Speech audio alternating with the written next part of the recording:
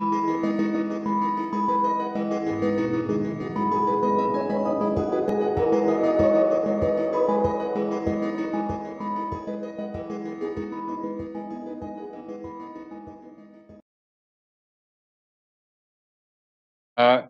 good evening, everybody. My name is Ken Phillips. I'm a partner here at uh, Hogan Lovells in Singapore. Um, It's my pleasure to welcome you all to this event tonight, uh, which is hosted by the CIL and the ILA, and we're very uh, pleased to be able to support these organizations uh, with this particular event. I'm from New Zealand, and and the most important sport for me, I guess, is is rugby. We grow up with it. It's a religion. It was an amateur game when when I grew up, and, and there was not much at stake. Not a great role for the law, a lot of role for for debate and conjecture. Um, but things have changed uh, since, and we can see in that game alone, we see uh, the stakes are much higher. And sport, generally, the stakes have become much higher, and with it, the role for law. These are my observations as an international arbitration lawyer with no sports law expertise, uh, but a great deal of affection for the game of rugby. Each of you will have your own experiences and context to share with this really interesting topic. Before I hand over to Anthony to make the introductions, um, I would like to to mention that uh, one of my colleagues was supposed to speak this evening, Kush Ved. I don't know if Kush has been able to dial in, but he's uh, seriously unwell and has been able, unable to make this event, so he will not be speaking this evening. Uh, that's all been planned and catered for, but just so you know, if you're waiting for Kush's presentation, Uh, he he is not able to join us this evening. So um, he apologizes for that, so do we. Um, thank you again for for joining. We're looking forward to the presentation. Anthony, over to you. Thanks again. Thanks a lot, Ken. Um, as Ken was just mentioning just now, this this is an event organized by the Singapore branch of the International Law Association and NUS's Centre for International Law. Uh, my name is Anthony. I am an international arbitration lawyer, Uh, and I'm glad to be the moderator for today's event, which is entitled, "Is the Referee a Good Lawyer? Establishing an International Framework for Professional Sports." Now, apologies, because I'll be having to look both at my present audience here as well as my digital audience back there. So it it might be a little bit strange, but please please do bear with us. One of them is bigger than the other. Is all we will say. It's okay. Your side profile is good. Thank God for this haircut. The best $5 I ever spent. Uh, so, I mean, if I may be so direct, I feel like international sports law, or rather like the relationship between international law and professional sports, is is an area which is, is really quite under-discussed. I mean, particularly here in Asia. I've been, I've been practicing here for about 12 years, and I think I've been to one event on international sports law. And and it's it's perhaps a bit surprising, but but I suspect that that's partially because international law's impact on professional sports is almost almost hidden in plain view. In in the sense that we see, for those of us who follow professional sports, we see what happens. We see the teams, the players, the institutions, the competitions. And, and of course, there are a lot of legal issues taking place behind the scenes, but we don't really think about them unless we are directly confronted with them. As for myself, I mean, I'm not a sports lawyer, but the first time which I personally felt affected by international law's impact on sports was in the summer of 2013. Uh, I say personal because I really love Arsenal Football Club, and their actions are personal to me, that sad as that may be. So, so we go to the summer of 2013, where where Arsenal are trying to sign a striker, Mr. Luis Suarez of Liverpool at the time. And and there was a very distinct belief amongst the Arsenal legal team that in his contract, there was a, a clause pursuant to which if a team were to bid over $40 million, that team would have the right to talk to Suarez. So so at the time, Arsenal make a bid of 40 million pounds plus 40 million and one pounds. and and 1 pound. And of course, that was divided within the media as being, "Oh, look at these jokers at Arsenal. What are they doing? Why are they you know, only bidding 40 million 1?" And and at the time, as with many you know, passive sports fans, I thought, "Oh, that is completely ridiculous. Why, you know, you want to buy him, why are you only bidding one pound extra. But then I thought from a legal perspective, well, if there's a clause in your contract which says it has to be over 40 million pounds, 40 million plus one kind of satisfies it, right?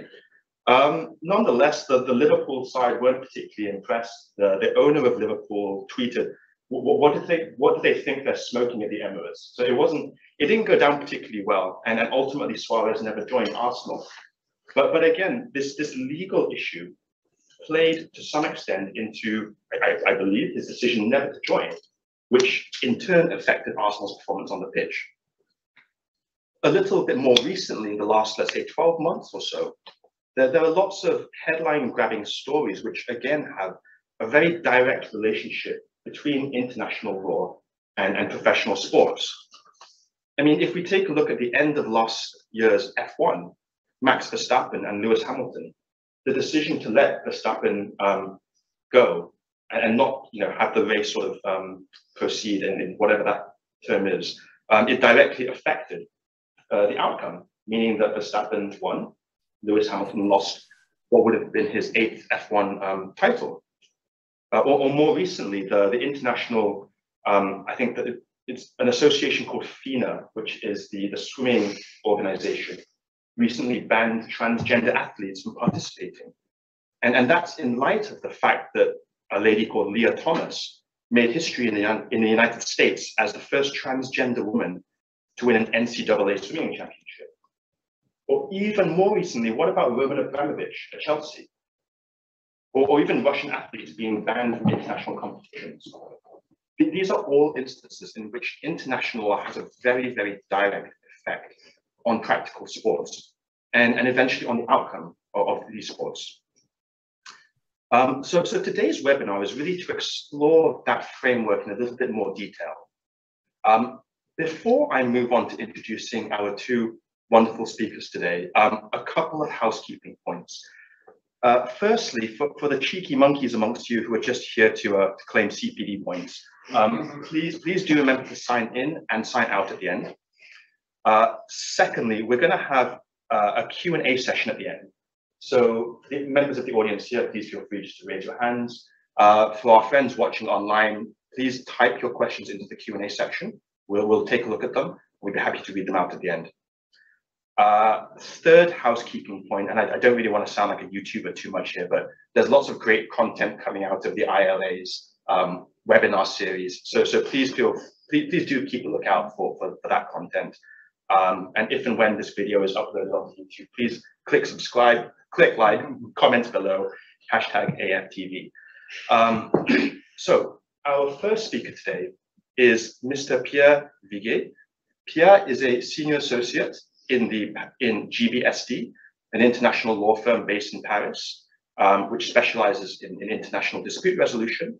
Um, he's also a very good friend of mine, despite the fact that he supports Paris Saint-Germain, which is an awful, awful, awful club. So without any further ado, um, Pierre, the floor is yours. Hi, everyone. Uh, indeed, uh, we are we are friend with Anthony, and uh, indeed also we have like uh, competitors. Because of course, yes, my my team is PSG and his team is Arsenal. Uh, they didn't play a lot together in the last uh, years, but I remember one game that PSG won in the or two games. Oh no, maybe it was one win and one lose in the Champions League competition in 2018 or 19. Um, so should I start? Should I start, Anthony, now? Yes, please, absolutely. Good. Uh, uh, it's very interesting what uh, what you the, the, presentation you made uh, regarding the topic because this is exactly uh, the the situation we have now in in the sports uh, flow sports fields. I would I would call it like this. You may heard you may have heard about the notion of lex sportiva it's uh, and if you don't, of course, you have heard about lex mercatoria. And as lex mercatoria, lex sportiva is very difficult to define what is exactly what is comprised, what is uh, comprised of. As there is a big debate, you know, what is exactly this lex sportiva. And and what we heard about uh, Anthony's uh, uh, thoughts, it's exactly that. Um, Lex Sportivas from some people is a synonymous of sports law, uh, meaning that it includes um, every rules regarding sports that are issued by states, by um, uh, private organizations, uh, which are the federation, association, such as the FIFA, the UEFA, the International Olympic Committee, uh, or the case law from a court that you may have heard, the Court of Arbitration for Sports. Uh, and this, the particularity of this um, of this uh, field of of sports law is that uh, at the end of the day, uh, a lot of rules are issued not by state entities, but by private entities. Um, as I said, we have many examples in international uh, entities. We are very often located in, in Switzerland, uh, like the IOC, like the FIFA, like UEFA, or other federation or Olympic uh, uh, committees. And um, but with the development of sport, a professional sport, these rules, as uh, Anthony emphasized, um, can become mandatory and have a big impact on the career of the athletes, on the story and of the legend of some clubs, um, and uh, that's why they are taking have now a so big impact and importance. So regarding the definition of lex sportiva, there is a kind of uh, consensus of what exactly may it may be. At least it is a sports league. There is a sports legal order into which, into this legal order, you have translational regulations adopted by the sports organizations, which are considered as a real rule of law. And these rule of law are mandatory for the athletes or the teams or other uh, entities uh, in the context of their professional activities. And the Lex Sportiva, of course, includes the Court of Arbitration for Sports case law, since the CAS uh, deals with the disputes in relation with uh, such rules. So let me just give, give you three examples of what are some principles of lex sportiva, which are really uh, particular for sports. Uh, the first principle, uh, which has been confirmed by CAS, is the principle nulla poena sine lege, which means that sanctions cannot be imposed to athletes or teams unless there is a violation of a rule and unless sanctions are provided for in the rule. And I will give you a very simple example, uh, you all know the, the World Anti-Doping uh, Code. According to Article 1, uh, what is a violation of this code of this code is a, a, a, doping is defined as a violation of the anti-doping rules. So the anti-doping rules has to be provided and the sanction has to be provided. If an athlete takes a product or use a product that is not prohibited, it will not be uh, imposed uh, any sanction on him. Another principle uh, from the Lex Sportiva is called the strict liability. Strict liability can, liability can be seen in two kind of situation. One is the strict liability of the football clubs, for example, for their supporters' misconduct. It means that if it appears that the supporters like Anthony is like uh, behaving, misconducting uh, nearby the Emirates Stadium in London, Arsenal will be uh, subject to disciplinary measures. And, um, and even if, even if uh, uh um, I would say, but unless Arsenal would prove that he had made everything possible to prevent this situation, which is very, very, very rare, of course. Another strict liability responsibility is strict liability for the athletes in doping cases, meaning that if it is established that the athletes violated the anti-doping rules, the athlete is automatically disqualified irrespective of its mens rea, uh, its real intention, in order to preserve the integrity of sports competition. So you see that at the end of the case, the case, the case law of CAS is very important in this uh, uh, growing of uh, international sports law framework. So very briefly, I would like you to present to present you the, the, the Court of Arbitration, of Arbitration for Sport, very briefly. first, and this is obvious, the, the CAS is not a court of justice. uh, meaning that it's an arbitral institution with its seats in Lausanne, meaning that the, any challenge of the award will be uh, brought before the Swiss Federal uh, Tribunal. And the CAS constitute arbitral tribunals, or called panels, for resolving disputes arising in the context of sports. In other words, the awards are rendered on the basis of the CAS procedural rules and not by the CAS itself.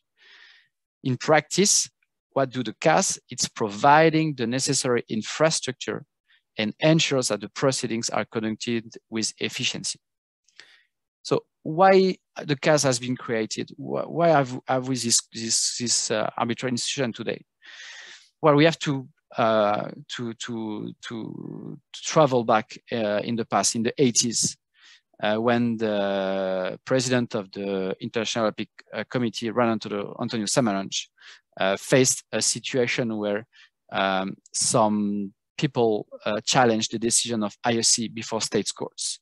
And it was particularly true in the situation where um, Taiwan, uh, the People Republic of China substituted Taiwan uh, at the United Nations and also in the in the um, IOC uh, institution.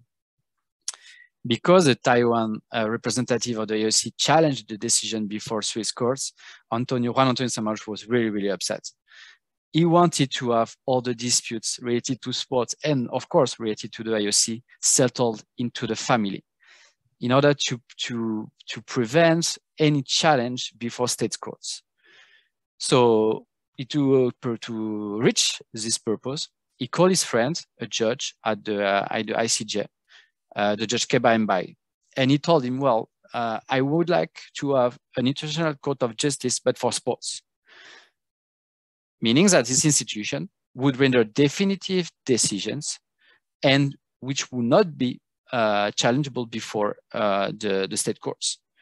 And as you imagine, Judge Keba Mbaye replied to uh, Juan Antonio Samaranch that it was not possible because IOC is not a state and cannot uh, oblige a party or an athlete to uh, to not go to before uh, state courts. So you are maybe arbitration lawyers, and you know that there is an alternative, a solution to this issue. And this is what Judge Keba Mbaye proposed to uh, to uh, to uh, Juan Antonio was the, to create an arbitral institution. Indeed, by consented to arbitration, athletes, teams, or federation are prevented to go to state courts at first, uh, based on the principle of competence competence that we, uh, we, we all know. So Juan Antonio Samaranch accepted the proposition, and then the judge Keba Mbaye um, created the CAS. The statutes of the CAS uh, were operative in 1984, uh, and then uh, the IOC made its best to obtain the consent of all the federation in order for them to introduce the arbitration clause in their statutes. Like this, when the athletes will take the license to the federation, he will consent to the arbitration clause provided in the statutes. And if there is, if there would be a, a, dispute regarding a decision rendered by the federation or in relation with the competition, the athletes or the clubs would be obliged to go before CAS and to, uh, to proceed by arbitration and will be prevented to present his case uh, before uh, the state courts. So um, this was in 1984. Uh, there will be there was a big job made by IOC and the judge Keba Mbaye in order to obtain the consent of uh, as much as possible federations. Uh, FIFA and UEFA were the, among the last ones to accept uh, this consent uh, in uh, 2004. And in exchange of the consent, FIFA obtained that the, the CAS has a specific list of arbitrators for football disputes. So today, what how is organized today, the, the CAS, there are three uh, permanent division. Uh, the first division is the ordinary arbitration division, which is with every uh, disputes uh, related to sports, but uh, in, uh, in relation with contracts or in commercial disputes. Can be sponsorship, can be dispute between an agent and, um, and a club or a, player. Um, so it, it just needs to be related to sports and to have an arbitration clause. And uh, you can bring this, uh, this dispute uh, before the, the a, panel constituted by the, the ordinary arbitration decision division. But the, the specificity of CAS has been the creation of the appeals arbitration division. This division constitutes tribunal whose responsibility is to resolve disputes concerning the decisions of federations, associations, or other sports-related bodies insofar as the dispute, the statutes or regulations of the said sports-related bodies or a specific agreement so provide, and if the appellant has exhausted the legal remedies available to a prior uh, to it prior to the appeal. Meaning that if you have a decision taken by a federation against a player, an athlete, the athlete has first to go to each step into the federation to challenge the decision. And at the end, at the end uh, if there is an arbitration clause in the statute or in his license, etc., he can appeal the decision before CAS.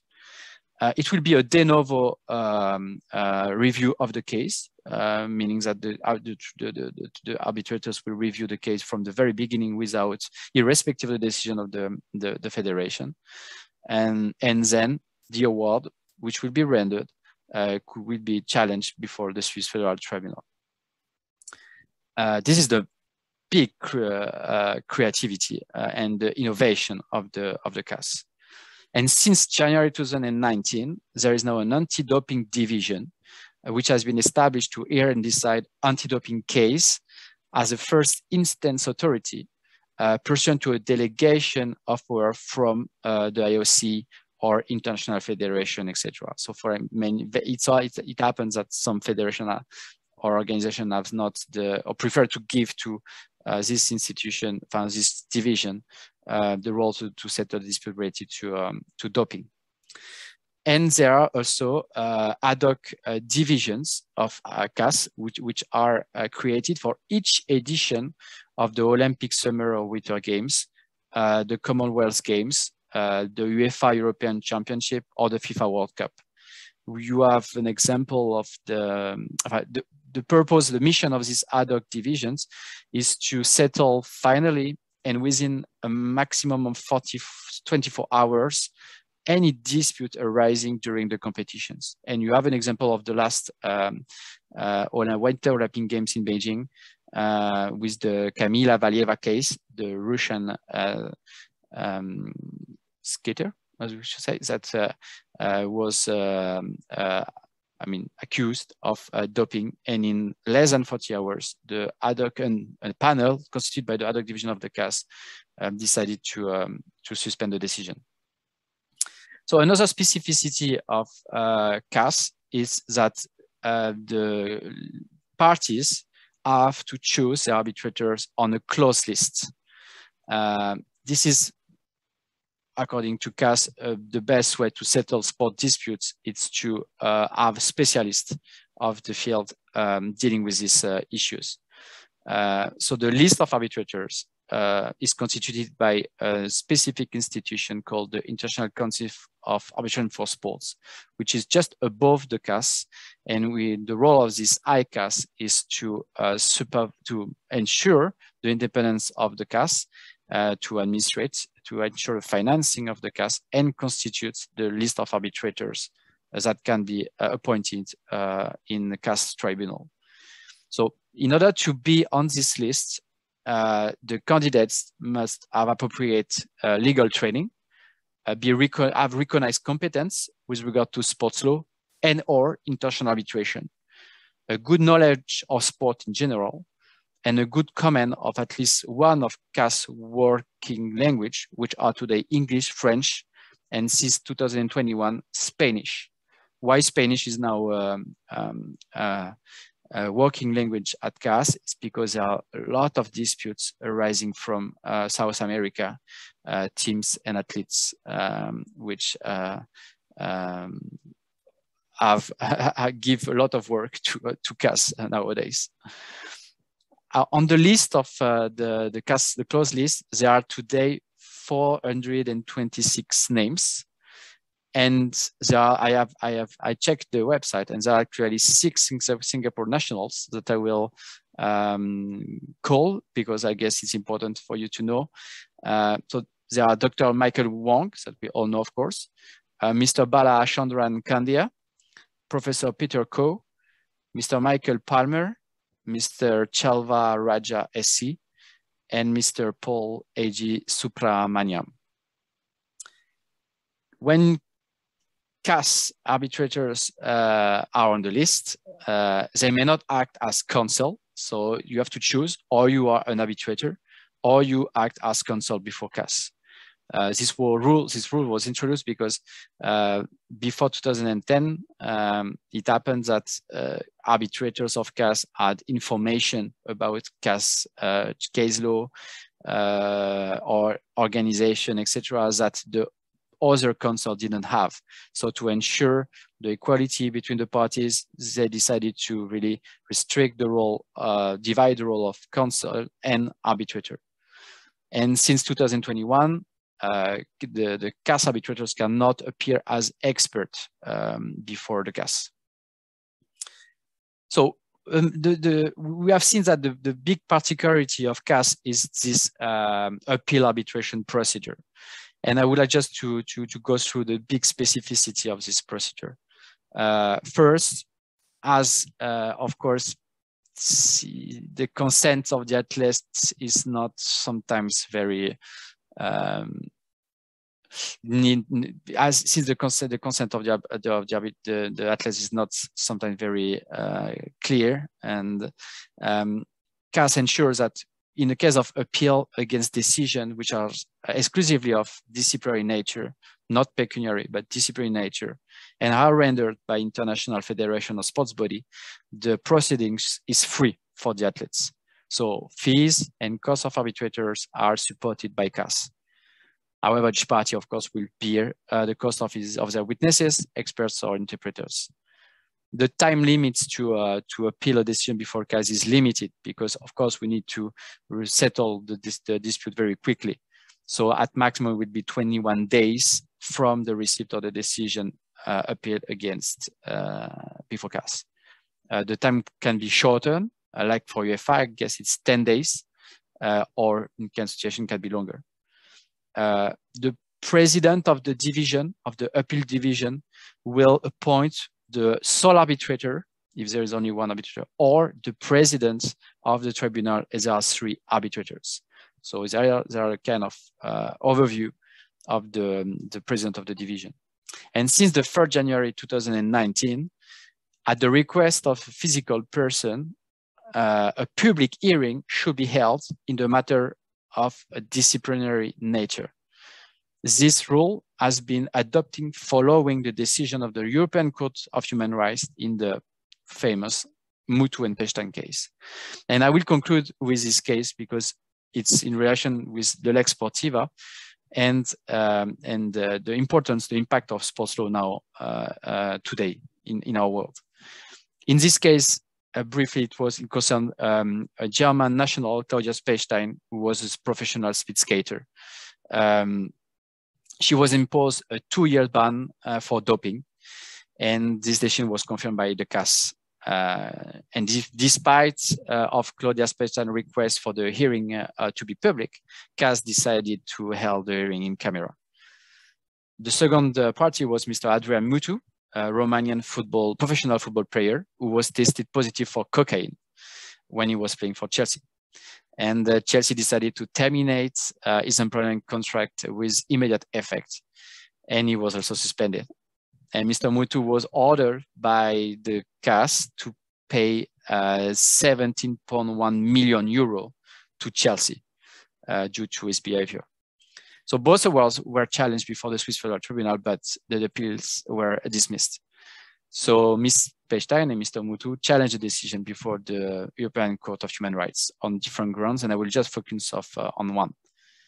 The court found that there was a violation of Article 6.1 of the Convention, which is related to the right of a free or a fair trial, on, the, on account of the fact that the proceedings before the case were not held in public for Mrs. Pechstein what the court uh, decided, analyzed first, is that there are like two kind of arbitration. You have the voluntary arbitration and you have the compulsory arbitration. What is a compulsory arbitration is when you have arbitration required by law, meaning that the parties have no option but to refer the dispute to an arbitral tribunal. And in this case, uh, the tribunal must offer the safeguards secured by Article 6.1 of the European uh, uh, Convention of Human Rights. But if it's a voluntary arbitration, so if the consent is given freely, um, the party can uh, waive their rights provided secured by the convention. Uh, at the condition, of course, that the consent is freely given, lawful, and in an unequivocal manner. In our case, in the case of Mrs. Pechstein, the court considered that uh, the, there was the, the, uh, the, applicable rules of its federation provided for the compulsory jurisdiction of the CAS in respect of the disputes at case. It was a disciplinary proceeding. And the court observes that the only choice in Mrs. Pechstein's case was between accepting the arbitration clause and, then, and thus earning her living by practicing her sport professionally, or not accepting it and being obliged to uh, refrain completely from earning a living from her sport at that level. So at the end of the day, it was a compulsory arbitration. But as I said before, compulsory arbitration is only if it is required by law. Here in this case, it was not required by law. It was required by the statutes of its federation. And what the, the court concludes is that even though it had not been imposed by law, but by the federation regulations, the acceptance of CAS jurisdiction by Mrs. Pechstein should be regarded as compulsory arbitration within the meaning of its case law. Therefore, the arbitration proceedings should have be offered the safeguards secured by Article 6.1 of the Convention. What it means is that the regulation of the federation um, is equal to law from state's law. So it means that there is a legal order, sports legal order, with regulation, which are mandatory to some athletes or teams in their professional activity. Uh, so it's a recognition of this legal order, of this sports legal order, and the impact and the importance of this sports legal order at that level. And you may have known that, the, that the, the, so far the public hearing uh, uh, can be held before uh, CAS. And the first example uh, in recent year was in October 2019 when the, the swimmer, Mr. Sun Yang, um, who was contesting uh, the decision of the FINA um, and the World Anti-Doping case to, to, to be suspended because of doping. Um, I guess I'm done, Anthony. I will let the floor to, to go. Yeah, that, that, thanks a lot, Pierre. I mean, I, one of the things which I find very interesting in in your presentation is is understanding a little bit more about how CAS works and and how it differs from commercial arbitration, which a lot of us are a lot more um, familiar with. The the point about no double hatting, for example, something I had no idea about, and you know, it's it's often leveled at, at commercial and, and investment arbitrators. Um, this issue of double hatting and also short mandatory shorter timelines uh, additional transparency. Um, and, and I've, I've, got a question about uh, the, the Pechstein case, but I'll leave that till till later on. Um, and and I'll, I'll, let our second speaker take the floor. Uh, we have Miss Miss Guo Cai. Uh, Guo is uh, a dedicated sports lawyer. Once upon a time, she she used to be an international arbitration lawyer, um, uh, but but I think her, her practice has now evolved into to more general sports law. She, she's based in China. Um, I don't know what her favorite football team is, but I, am sure she'll enlighten us very soon on that. Um, so, Guo, over to you. Um, thanks, Anthony, and thanks everyone for having me here. Um, so I, I, have I have a few like follow up feedbacks to um, presentation just now. Um, so he talked about uh, case, which is quite uh, well known, uh, ECHR jurisprudence. And I think it's like the Sun Yang case, like every person dedicated to sports will study this jurisprudence. And I was so amazed to find that Pechstein, Mrs. Pechstein was still active in sport. And she's actually the oldest um, athlete appearing in the Beijing Olympics Winter Games in 2022 this year. So I, I discovered her on the TV screen and I said, wow, this is Pechstein. Is that the same Pechstein uh, appearing on the ECHR case? And that, that's exactly the case. So I think the, the case has been long-lived. It's a past chapter for her and she still practices the sports and she um, even became a role model um, uh, aside from having that case um, continuing. And um, um, I, I, think when I just learned about he, her case, uh, she fought all the way to German um, courts, to the Swiss Federal Tribunal, and then all the way to ECHR it was a bit unbelievable for me when I first uh, read about her trajectory of the case. But um, after I uh, studied and also uh, pick up the practice of sports law, I totally understood her because sometimes um, I think as sports practitioner, we got very frustrated as kind of stuck in the system. So I actually recently have a case that we are planning to take it to the ECHR as well. And so, so I can now uh, totally relate to, um, you know, some athletes and um, even some, some parties, some federation or football clubs that find themselves can um, suffering from, they feel like injustice in the system. So I think um, probably my, uh, my introduction or my presentation to you will be from a more critical perspective uh, on top of Pierre's um, introduction of the system of what it is.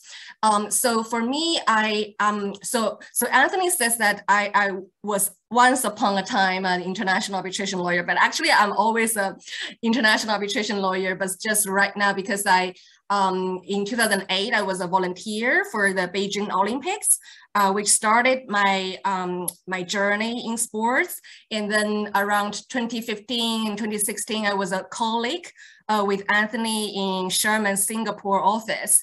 And so he probably doesn't know while I was uh, seemingly kind of working on those commercial arbitration cases, I was secretly contemplating or planning in my mind that um, I, I, wanted to do sports. So uh, that's how I started. And so I, I, think right after the Rio Olympics in 2016, I started to gradually uh, pick up sports practice. And now it became a very large part of my practice.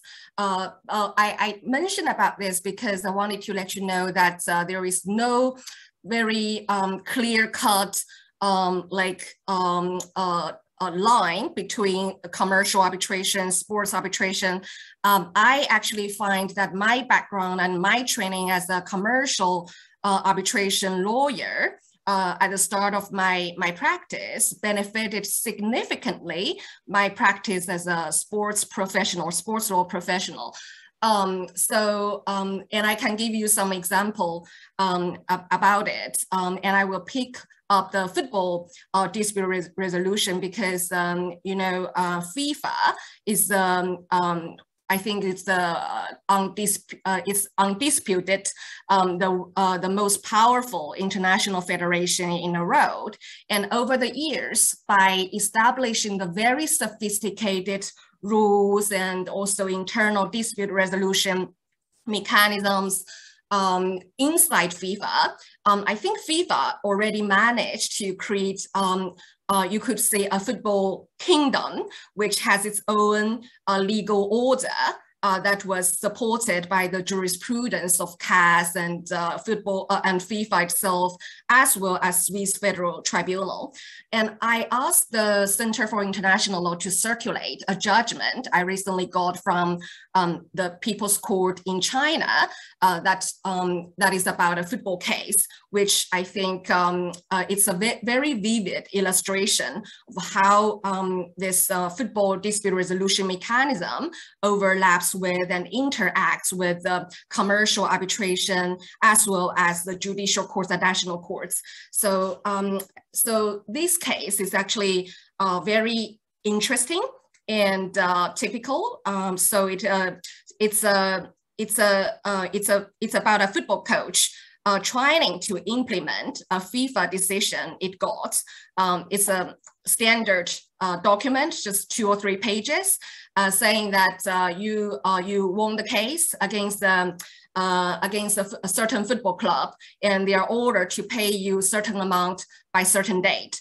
So um, everything seems very well uh, and typical, but unfortunately, uh, unfortunately, several months before FIFA renders that decision, and actually also at the time when he tries to implement that decision, the football club unfortunately got um, uh, out of football circle, which means that it got dissolved because uh, they lacked funding. So it no longer registered with the Football Association in China. Um, so indirectly, the uh, FIFA mechanism doesn't work for it. So normally, um, FIFA mechanism or the uh, decisions um, ordered by the internal mechanism of FIFA um, internal organs are very effective because you do not have to go through the judicial courts or New York Convention trying to enforce a decision by FIFA ordering a club or football association to pay a coach or a player. You, um, so um, this, this power actually comes from um, the threats of sanctions. So if the football club does not pay him, pay the pay the coach by certain date, then um, they, they will threaten you with certain sanction like a, a, a transfer ban or um, deduction of points or relegation of divisions. So if the football club still wants to play in pro professional football and it still wants to, it has a big dream to go far, then um, it usually will comply with the football deci uh, the decision by FIFA, even though grudgingly, and even though they disagree uh, significantly with how um, how the result it is and uh, maybe the quality of the reasoning whatsoever.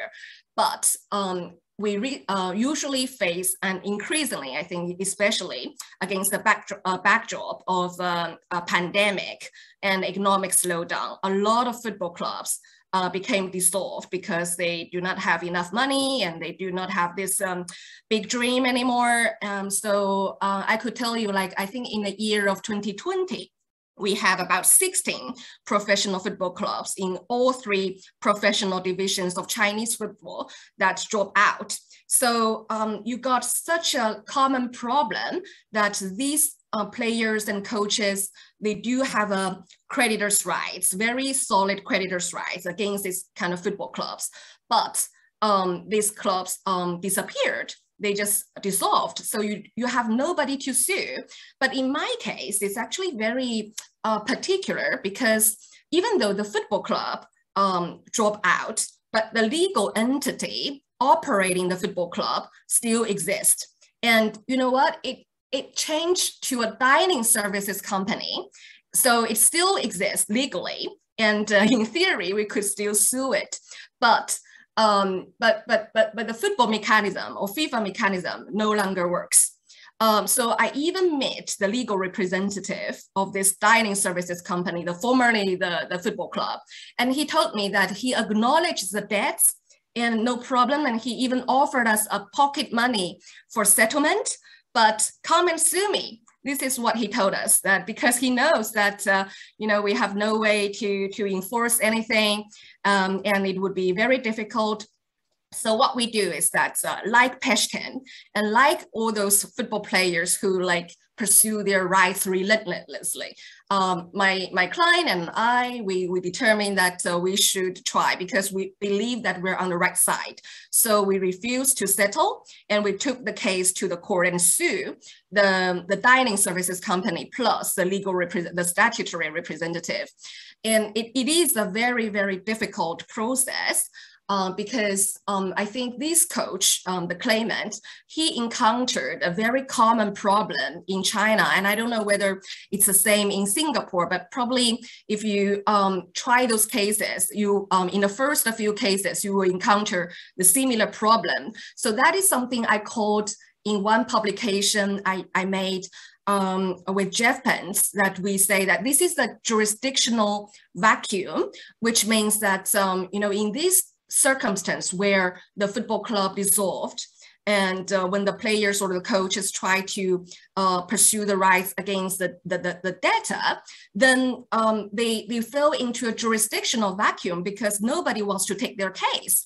Uh, so, so, so they go to the Football Association trying to implement the FIFA decision. Um, the Football Association, Association says, sorry, uh, you can't come to us because um, um, you are, uh, you know, the, the, the data or the respondent is no longer governed by football rules. So sorry, uh, we, we can't help you. And then if you go to those labor trial tribunal and they will say, hey, this is not, this is a football uh, disputes, not a labor disputes, then please go away. So we were turned away like twice. And then the last resort, the last resort is really just the, the judicial courts. We call it people's court in China. And I think that's also a very painful experience because um, uh, me personally, I go to the local courts for several times, just trying to lodge the claim because usually you, you got a judge uh, as a gatekeeper, he, he will tell you that, uh, hey, you have a arbitration clause. Are you a lawyer? Uh, if you're a lawyer, you should know the fundamental arbitration excludes litigation. Yes, I know, but um, so so but the the um, I think that the problem lies in the fact that um, the, the judicial courts in China and probably in also in other parts of Asia, they are not very familiar with the uh, uh, sports mechanism or football mechanism. So when they see those template clauses referring to uh, any disputes arising in connection with this dispute, we'll have to go to, uh, for example, it's called uh, FIFA um, Dispute Resolution Committee or sometimes for Chinese player, the template will say any disputes will have to go to um, the, the arbitration committee within Chinese Football Association. Then the judges will say, this is the arbitration clause. And then so you, you can't sue here. Uh, but what, what I want to tell you is that um, there is a lot of confusing, confusing terms in the football mechanism that poses problem for the parties. For example, um, we it's well recognized or universally recognized now by CAS jurisprudence, by FIFA itself, and also by the Swiss Supreme Court that uh, the internal organs of FIFA is not arbitration committee or arbitration tribunal. But you know what? The uh, uh, FIFA called its own decision maker in this um, internal organ, called, called them judges. They say it's a single judge of player status committee or single judge of a dispute resolution committee. So when you translate it to Chinese, literally it means 法官. So that, that is really confusing for the, the real judges in China. So they feel like, okay, th there is another judge um, uh, that, that should uh, decide your dispute. So it's a none of people's court business. And then also in uh, within Chinese Football Association, the dispute resolution organ is even named as arbitration committee, but it's actually not real arbitral tribunal. So this is quite confusing, uh, which um, uh, actually closed the door, the judicial door for the parties to trying to enforce their rights. Um, so we we tried and for many times, and then because of some particularity of this case, uh, which is foreign related, uh, which does refer to CAS at certain point. So it's regarded as a foreign related arbitration case in the Chinese judicial system. So it has to go all the way from the local courts to the intermediate people's court to the high court and then to the supreme people's court. And um, so recently we got this decision, which um, I circulated, and uh, I could tell you that represents on the legal standpoint by the Supreme Court of People's Court, uh, Supreme People's Court in, in China. And even though the judgment itself is quite concise, it's only about like uh, seven or eight pages, but um, I could tell you that um, the, the judges in the Supreme People's Court really take it take care of it seriously because this is the first sports cases they're handling. So um, they actually made a lot of extensive research into FIFA statutes and uh, PSC and, and also Swiss Federal Tribunal decision. They even asked for um, past decision on certain on similar issues, and they even organized experts consultation just to discuss the legal points there. So the final conclusion they made, um, as um, I circulated and translated, and you could see that um, I think the essential point is that um, they conclude that FIFA um, internal organ or any internal organ, uh, internal organ, either it, it's named as arbit, arbit, arbitration committee or something else, or even they call themselves as judge. Um, but if they if they are established within the international federation, it does not con constitute arbitration, real arbitration procedure under the New York Convention. Thus, the decision by an international federation like FIFA's internal body does not amount to an arbitral award that could be recognized or enforced under the New York Convention. So, um, so I think the, the, the pretext or, or the implication of this important conclusion is that um, um, even the reference to FIFA or the Chinese Football Association, the template clauses in players or the coach's contract here does not by itself exclude the judicial courts or national court jurisdiction, even though um, of course, we may have to face sanction from FIFA if you decide to take the, the, the dispute to court. But that is from the perspective FIFA. If you want to sanction, then be it. But it doesn't affect the national court judges, um, their standpoint that they should uh, protect and ensure parties' right to sue. Um, so um, I think uh, even though that this legal point is not um, very new at international level, because um, uh, because um, I think it has been long and widely established at CAS, FIFA, and the Swiss Federal Tribunal that the internal organs of FIFA does not um, uh, amount to real arbitration. But I think it's still very important for for the national court, especially the Supreme Court, for each jurisdiction to have a certain attitude pronounced in this regard. Because at the end of the day, if a player or a coach or another party wants to enforce their rights, then uh, they will have, uh, and, and, and when the football mechanism sometimes doesn't work, um, in the event that uh, you know somebody drop out of the competition or the football club dissolved or bankrupt, then the last re resort still lies in the judicial court, you will still rely on your national court to protect you as a party. So I think it's still very important for for the national court in each jurisdiction to give their standpoint. So I think that's a quite in, um, quite interesting case, uh, very typical but um, it actually uh, analyzed very comprehensively about the interaction between the uh, New York Convention in commercial arbitration and the football mechanism, as well as the um, like uh, you know there is uh, also implied appeal rights to to to CAS.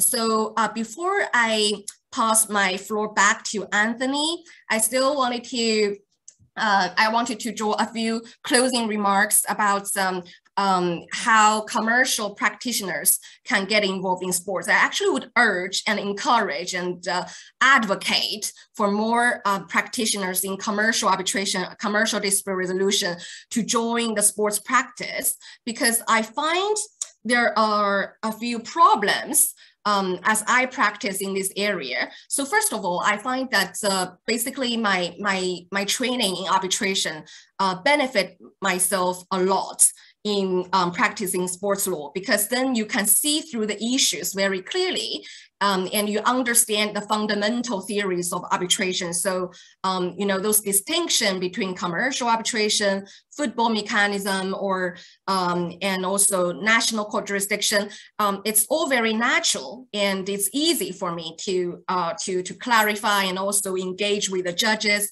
But I find it's not always the case with people who practice sports in the beginning um, without any um, training or, or basics in, in arbitration fundamental theory. So I would urge people who have training in commercial arbitration and also experience in commercial arbitration to join in and you will find that actually you are well ahead of uh, people who only do sports. And I think the, the, the eyesight is actually wider than people who limit themselves as um, in, in sport. So this leads to the second issue that I observe in, in the uh, world of sport, because I find that um, maybe it's because of the, the lack of people involved in sports. So the um, so the the list, as the Pierre just um, mentioned, the list of CAS uh, arbitrator is a closed one, and um, um, and I think the choice is uh, even though it, it's oh, it's okay, so there are a lot of people, but it's still limited, and I think the quality is not necessarily guaranteed. And for more often than not, I find these people um, uh, like immersed themselves uh, or entrenched themselves in sport um, are actually institutionalized, I would say uh, that word. Um, so because, um, you know, this, um, because of the limited participant in this system, then um, they usually wear multiple, multiple hats, at least three hats. Uh, so for example, in a recent case, I have before CAS, I have this arbitrator.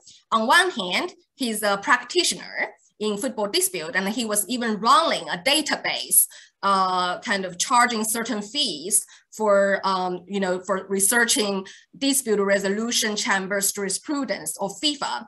And then he's a CAS arbitrator in charge of football cases. And in my case, uh, so he was sitting on the appeal level, deciding on football cases, uh, interpreting the football regulation, extra, extra.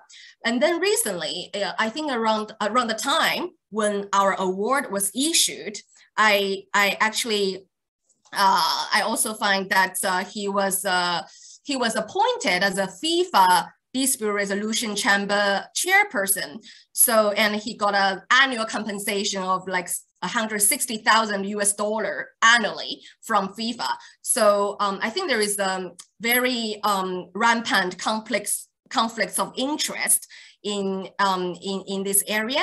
So I think uh, the way to improve uh, sports um, sports circles, sports um, sports law industries to have more commercial arbitrator, commercial uh, practitioner joining in. Um, so um, yeah, I feel like my time is has uh, is um is up.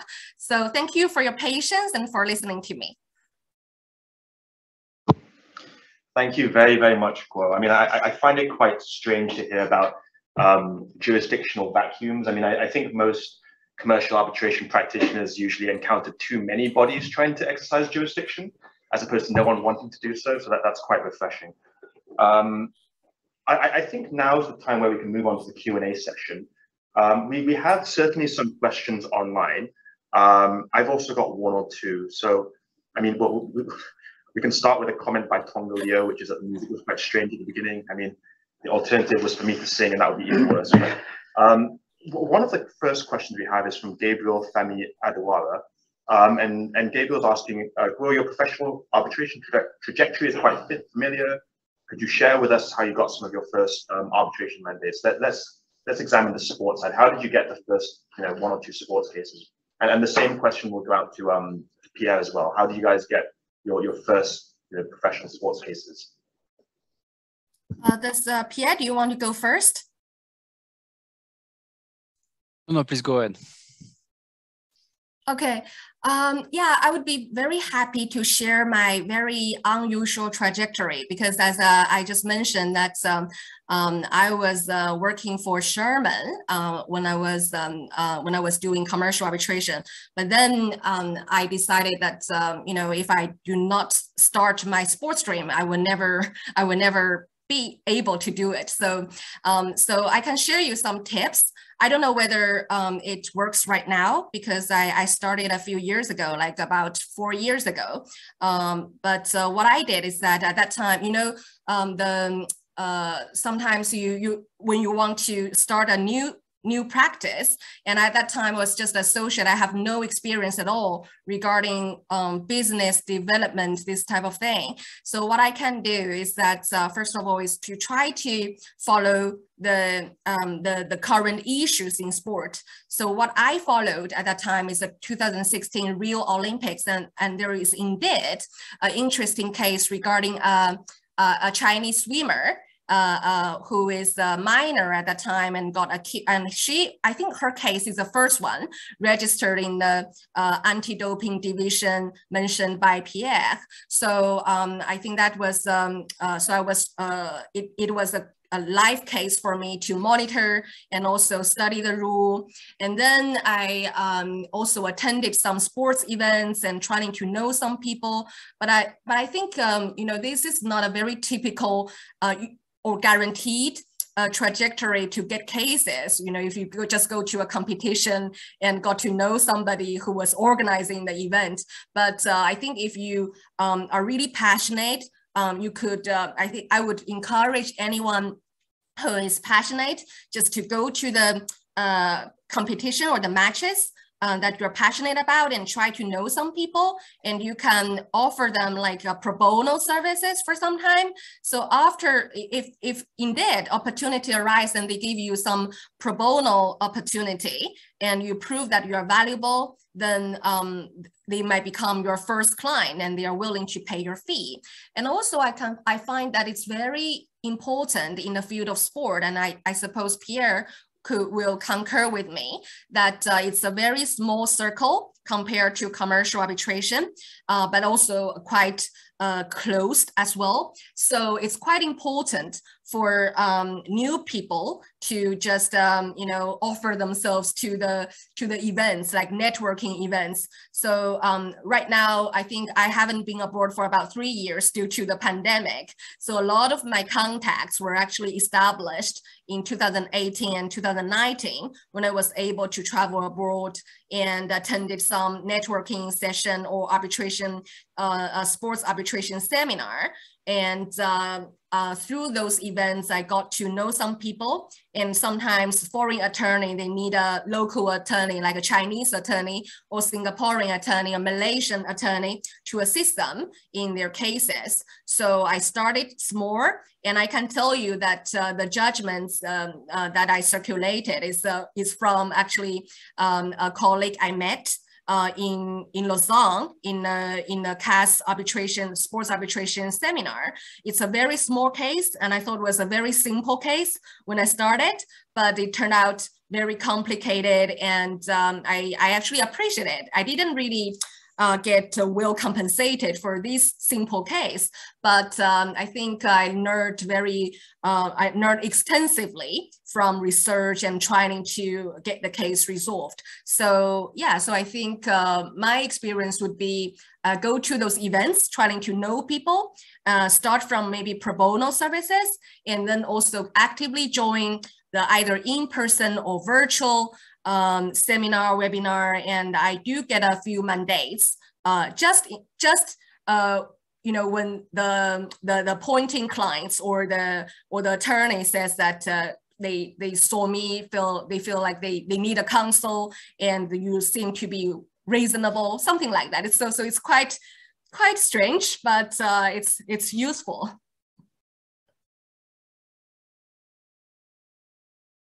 And Pierre, what about yourself? Um, the, the go uh, try to go uh, uh, where to get it. It's uh, it's very impressive, and uh, but uh, there is no. I mean, there is some. one of my mentors told me one day that there is not one way to to to to reach the, the the dream or the point you want to to reach. So uh, first of all, you need to be passionate about what you do. And of course, if you're passionate by sports, um, it will be, and by law, uh, you will really enjoy yourself uh, in this field. Um, from my side, I said, Anthony, I'm, I'm a big sports fan. I'm a big football fan uh, for years. And, um, and uh, I'm, I'm tending, uh, I wanted to become a football player at the end of the day. And because I was very bad, no skills at all, no injury just no skill. I uh, I um, I uh, I decided to become a lawyer, and after a few years of experience, after eight years experience in Shearman, um, I decided to uh, that I wanted to to just join my passion for law and arbitration and sports. And uh, I discussed with my partner at the time, uh, Emmanuel Gaillard and uh, Enyas Banifatemi, and uh, knowing my passion for sport, because as Anthony can witness, my office was full of jerseys, scarves, etc., uh, like a museum, like a room, like a boys' room, clearly. So they told me, guys, of course. I mean, it's obvious. Go for it. Um, so my first instinct was that yes, I said go. It's uh, it's it's a close word. Uh, everybody knows each other's, and uh, and uh, I felt that I needed to go back to school to learn about what was sports law because it's not because you're a big supporter or you love sports that you know what is sports law. So um, I went back to university in France. I attended a one-year uh, course, and then I attended the the UEFA football law program uh, which is a fantastic program offered and open to everyone, even if you're not working in a in a, in a federation or or um, an association or what. Uh, it's it's four weeks, uh, intensive four weeks of um, divided, of course, um, uh, and and focus on specific topics, and you meet a lot of people uh, around the world, fantastic people. Um, so it, it, was it had been a very very uh, good experience.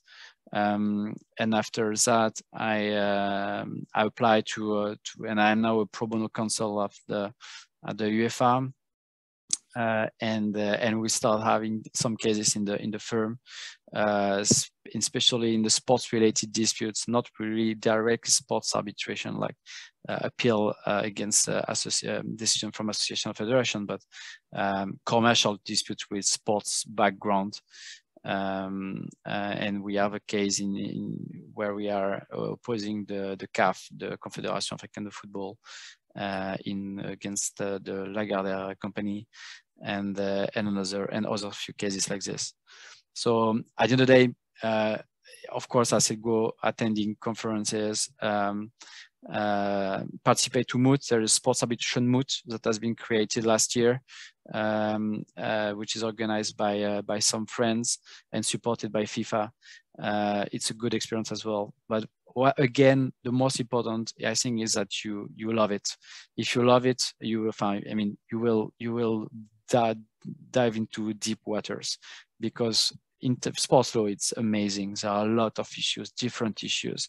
It's really much complicated than it seems like this. And because it's complicated, it's very funny. So uh, should you like that, go for it, for sure. Thank you. Thanks, guys. Um, any questions here? No? Okay, I'll, I'll go back to, to the Q&A questions. Um, I, I guess this is partially linked to um, to your point just now, Pierre, like what, what are the most common types of disputes within sports sectors that you guys have seen, either in Asia or elsewhere? I mean, are, are they usually um, sports law specific type issues, your anti-doping, your um, you know player transfer type stuff, recruitment of young players, or, or, or do they tend to be more commercial issues which have arisen in the context of you know sporting organizations like I don't know um, sponsorship rights disputes, uh, disputes over the, the construction of the stadium, stuff like that. What, what are the types of cases that you guys have seen so far? Uh, now, uh, CAS, of course, is really specific. CAS has an ordinary uh, ordinary division, so can deal with, uh, uh, with uh, we say, normal commercial disputes with sports-related uh, background. Um, but it's not, of course, the, the, the big success of the CAS, and there are not many, many cases that are brought to CAS on this basis. Usually, parties have ICC arbitration clause or LCIA arbitration clause, SIAC arbitration clause, but are not going to, to CAS um, CAS is really the, the, success of CAS is the appeals against uh, the decision of federation association in different things. As you said, it's of course uh, anti-doping doping cases are uh, uh, growing a lot. Um, uh, and as uh, Guo said also, uh, the jurisprudence, this decision from the FIFA judicial bodies because uh, as it goes, there are like a system um, uh, protecting clubs uh, and players and, and, and, football football players uh, if um, a club decide to uh, to uh, to terminate a contract. Um, there is a choice in the statute in the FIFA statute saying that you can go before you can bring your case before the state courts because as in France, the, the, the the the the, national, the, laws French was really protective for for uh, for uh, workers and for football players. But you have in some other countries you have not such kind of, of protection, and uh, the international uh, rules of FIFA um, can be used in order to uh, obtain compensation or sanctions for both clubs or, or, or, or players if they uh, terminate the contract. So many, many cases brought um, uh, to, to CAS are uh, uh, from uh, these FIFA legal bodies who are sanctioning this kind of situation. And Guo please.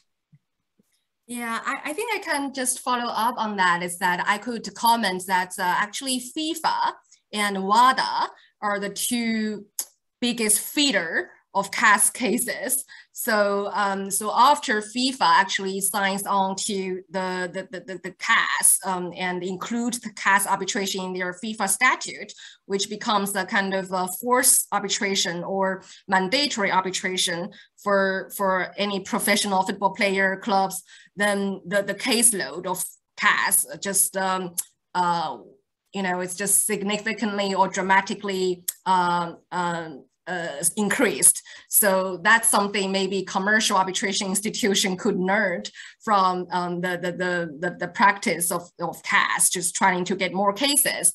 And in terms of the particularity in Asia, um, I do not see like um, there is a huge difference between um, uh, between Asia region or other part of region, just um, except that I think uh, for uh, real arbitration or commercial arbitration related to sport might not be that common here in Asia. So I think there is, um, because traditionally um, uh, professional sport, um, especially in China, is not very commercialized. So um, there is um, so there there haven't been like a culture of arbitration in in Chinese sport. But right now we have amended sports laws, uh, which intends to create a Chinese version of CAS or Chinese version of uh, arbitration institution for sport. Um, so maybe that can um, drive the way forward, um, see to see more sports cases in, uh, in real arbitration. Um, and in my own experience, I think, um, you know, the typical cases are salary cases, especially in the current environment. You've got a lot of cases uh, trying to be lodged by the, by the football players against clubs. Um, so, so, so these are actually um, in nature an employment case, but because of the involvement of FIFA regulations, it's becoming more complicated, especially if you want, if you have to enforce your rights um, in the national court.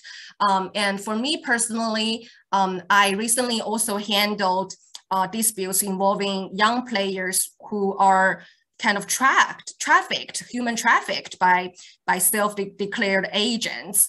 Um, I, I, I just find that these cases are very emotional for me because um, um, the victim involved are a minor who, who are not very matured and uh, he's from an uneducated family. So his family or parents uh, couldn't really detect what is lie or who, who are really helping them and who are lying to them. And then um, in terms of this kind of uh, players transfer business, I just find it really bizarre because um, if it's, um, you know, if it crosses border, it's really like international human trafficking because you, you got uh, uh, people or, or scum uh, who told the players that, okay, I can secure you a good future or I can help you realize your football dream in PSG, for example. And then the, this young player, he, he really wants to develop his career and he's uneducated and uh, then you know um, so so so the case to me uh, even though it's a football case it's a football dispute i have to uh, resolve these disputes between um, the self-declared, but actually I think it's criminals, and this young player and also also the club. And uh, the case looks um, actually looks to me is more like a human trafficking case, so which becomes um, very emotional to me. So I can comment is that um, you know uh, representing the players is very different from representing corporates and, and even clubs or federation, uh, I find that even, you know, um, I was assisting some players in their salary cases or employment cases, uh, even though these are just normal legal cases, but uh, because of the particularity of football profession, I find that their disputes is actually related very, very um, relevant to their life, to their career, to their personal and um, family. Um, so, so it's uh, always quite emotionally charged. And uh, so it's, uh, I think the, these are representing the players are actually um, the most complicated cases I've seen in my career. Um, so yeah, so I, I, I think uh, if you have the opportunity to enter into this field and uh, then you can get a feel about it. Okay, thanks guys. Um, I, I see that our time is more or less up. I, I do know that there are two more questions here, right? Um, and, and, and since this is you know 2022, we have social media. I'm going to read out these questions, um, and maybe you guys might want to take some time and just sort of answer them on Facebook. You know, maybe commenting in on, on the YouTube video or on the Facebook link. So, so the last two questions, and again, you don't need to answer them now, are um, whether the FIFA-related case included investment arbitration or commercial arbitration, um, and and and I think this one's more to you, Guo. Do, do you think the decision of the Chinese court would have been different if FIFA Player Statuses Committee had declined jurisdiction to adjudicate the dispute on the grounds that the club had been dissolved? In such a situation, would the appropriate recourse have been to, as per the arbitration clause, proceed to CAS? So again, you don't need to answer that now. Maybe you take some time to think about it. Um, and, and Pierre, a bit of homework for you as well. Um, you know, when, you're talking about the Pechstein case, you're mentioning that um, the ECHR said that because uh, the obligation to go to arbitration was mandatory, um, it would be against, I think, Ms. Pechstein's human rights if, it, if there was a lack of transparency. Um, I, I, my, my question is, do, does this Pechstein case have implications outside of sports arbitration? For example, with in the context of investment arbitration, where, where a party's only jurisdictional ground is to go, um, perhaps, you know, to, to, to, use recourse to an investment treaty. Um, would, would the same considerations apply? And again, you know, the, the, these are just some sort of questions for you guys to answer. No, no need to do so now. Um, thank you very much to both of you. And, I'm sorry for giving you this homework, but you know, that's, that's life, right? Um, so as some final closing remarks for myself, thank you very much to, to, to, to Guo, to Pierre, to, to Kent, to the team here at Hogan Lovells, um, to the team at the NUSCIL and also the ILA's uh, Singapore branch. Um, I really, really enjoyed this. I, I, hope that you guys have as well. Um, and yeah, thank you very much. We'll see you for the, the next webinar. Bye-bye. Bye. Thank you. Bye. Thank you very much, Anthony. Thank you, Kent, and a big so to Kush uh, that he recovers quickly. Thanks, the organizer. Thanks, the audience. And uh, I will reply to the question on my LinkedIn. So, so Anthony, you can tell the, the, the, the person who asked the question. I, I will I will duly answer them. Awesome. Thank you. Thanks, Guo. Thanks, and thank you, Anthony. No worries. Thank you.